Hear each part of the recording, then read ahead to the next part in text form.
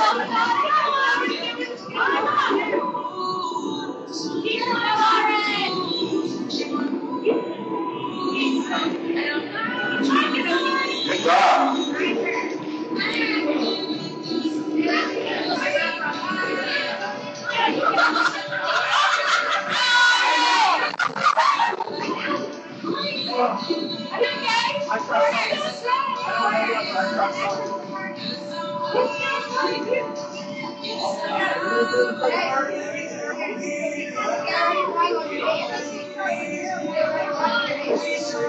right, guys, if you're a third party, the choice is back.